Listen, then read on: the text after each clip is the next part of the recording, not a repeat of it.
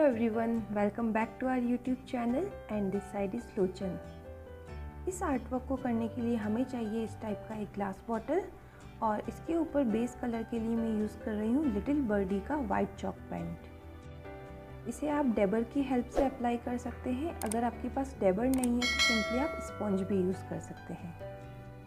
आप इस पेंट को ब्रश से भी अप्लाई कर सकते हैं। बस थोड़ा सा टेक्सचर चेंज हो जाएगा।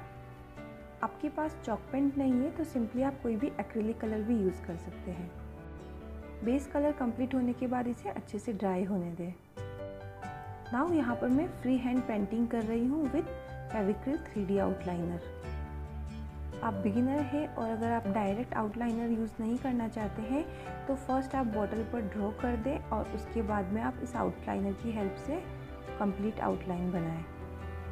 इस टाइप के थ्री डी आउटलाइनर जब भी हम यूज़ करते हैं ऑलवेज़ रिमेंबर इसकी जो नोज़ल है, इसे हमें हर थोड़े वर्क के बाद में क्लीन करना होता है। अगर हम इसे क्लीन नहीं करेंगे तो हमारे वर्क में फिनिशिंग नहीं लगेगी।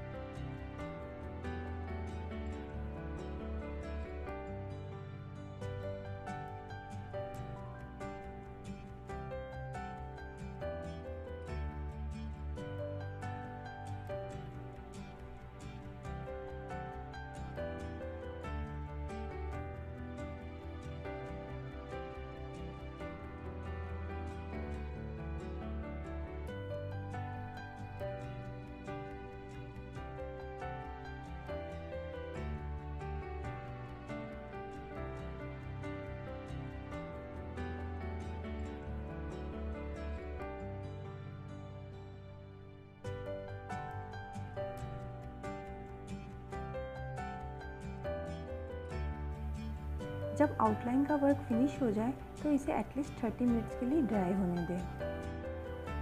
एंड फिलिंग के लिए यहाँ हम यूज़ करेंगे फेविक्रिल ग्लास कलर्स आप यहाँ पर कैमल के ग्लास कलर्स भी यूज़ कर सकते हैं। अभी हमें कलर्स को डायरेक्ट अप्लाई नहीं करना है। फ़र्स्ट हमें प्लेट में निकालना है और उसके बाद में ब्रश की हेल्प से हमें अप्लाई करना है। और जब भी आप ग्लास कलर्स को प्लेट में निकालते हैं ऑलवेज़ आप कम क्वांटिटी में ही निकालें, क्योंकि एक साथ अगर हम ज़्यादा क्वांटिटी में निकालेंगे तो उसके ऊपर एक लेयर सी बन जाएगी। और उस लेयर के साथ अगर हम अप्लाई करेंगे कलर को तो हमारे वर्क में फिनिशिंग नहीं आएगी। आप बिगिनर हैं और आप first time glass colours use कर रहे हैं तो प्रिफ़र करें कि आप इस टाइप की फ्लैट सरफेस वाली बोतल ही यूज़ करें।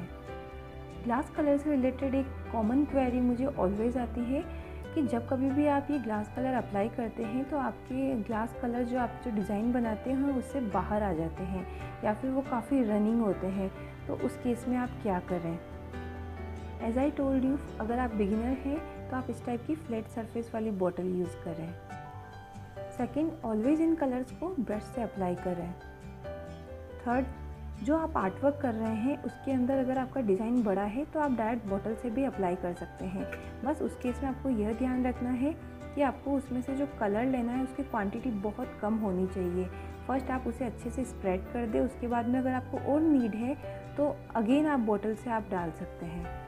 फोर्थ अगर आप राउंड शेप की बॉटल पर आर्टवर्क कर रहे हैं तो उस पर फ़र्स्ट साइड आप अच्छे से कलर फिल कर दें उसे ड्राई होने दें उसके बाद ही आप अदर साइड पर मूव करें। अगर आप एक साथ सारी साइड्स पर कलर करेंगे तो वो सारे कलर्स निक, बाहर निकल जाएँगे और वर्क में बिल्कुल भी फिनिशिंग नहीं आएगी। एंड यहाँ पर भी मैंने सेम टेक्निक यूज़ करी है। फ़र्स्ट साइड मैंने कम्प्लीटली ड्राई होने दिया उसके बाद ही मैंने अदर साइड पर वर्क किया है। आप इस टाइप के कॉम्बिनेशन में भी सेम बॉटल आर्ट वर्क कर सकते हैं। इस बॉटल का कंप्लीट वीडियो अगर आप देखना चाहते हैं तो इसका लिंक मैं नीचे डिस्क्रिप्शन बॉक्स में दे दूँगी तो आप वहाँ से चेक कर सकते हैं।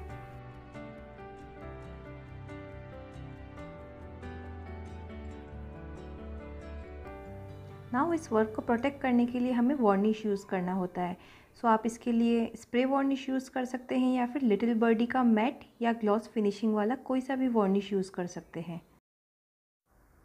And it's ready if you like this video then please hit the like button and इस टाइप की वीडियोस को और देखने के लिए please subscribe my channel and साथ में ही आप बेल आइकॉन भी प्रेस कर दें।